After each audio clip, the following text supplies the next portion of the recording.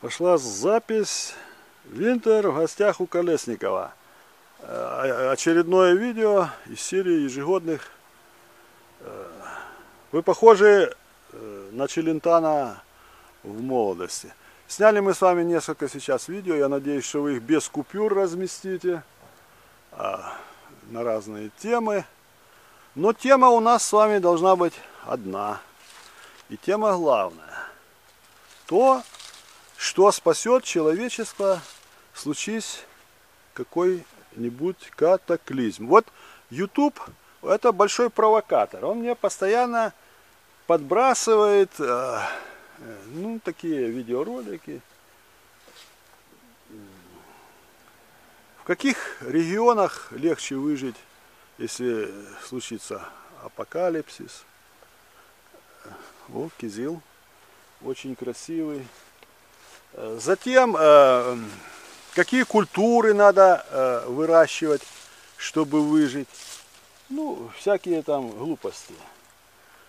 Сколько земли надо. Вот для охоты, допустим, 5-20 гектаров на одного человека. Да? Представляете? Это сколько на земле должно остаться людей.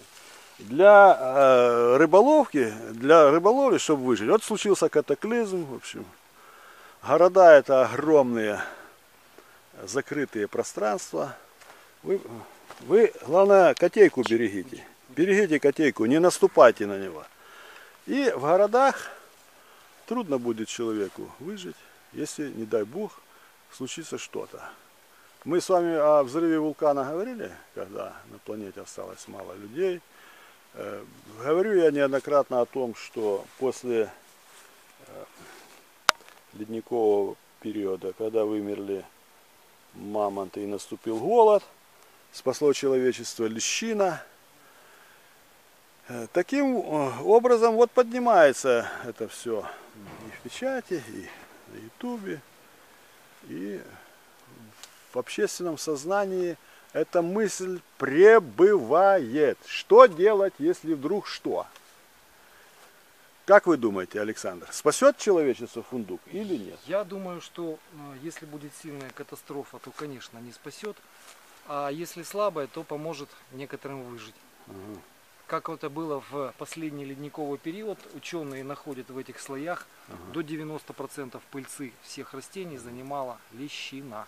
То есть благодаря именно лещине э, человечество в Да, тот промежуток да. и выжило. Вот еще мне там э, попалось видео такое, в каких регионах легче выжить в постапокалипсис. Э, я думаю, вот в таких районах, в дачных, в зеленых. Александр, с сухофруктами вы не занимаетесь? Занимаюсь, но я в отличие от вас, Николай, я От меня, сушку- от тебя. От тебя, Николай. Я сушку делаю не на воздухе, а купил себе я машину А, есть вас. электрическую и не знаю Понятно. никаких проблем. Я хотел сказать э, э, марки Ямагучи. Да, Правильно вы делаете. Ну и вот в этих видео, совершенно не глупые, э, утверждается, что человеку для того, чтобы выжить, надо э, 3 килограмма день, в день картошки, картофеля, да? Представляете, каждый день по 3 килограмма. Или по 5 килограммов э, свеклы там с репой.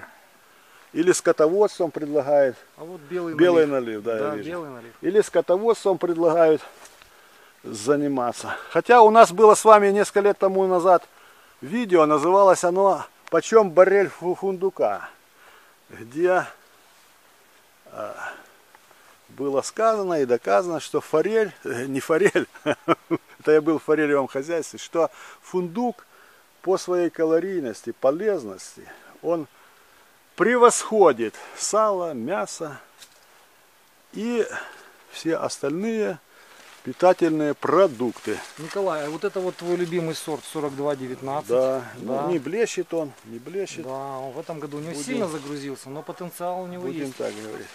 И самое главное, для пропитания одного человека не гектары надо фундука. А сотки? Да. Поэтому мы призываем с Александром, как Карл Маркс и Энгельс, а, призывали в свое время грабить богатых, мы призываем разводить фундук. Вот сейчас я еще покажу здесь.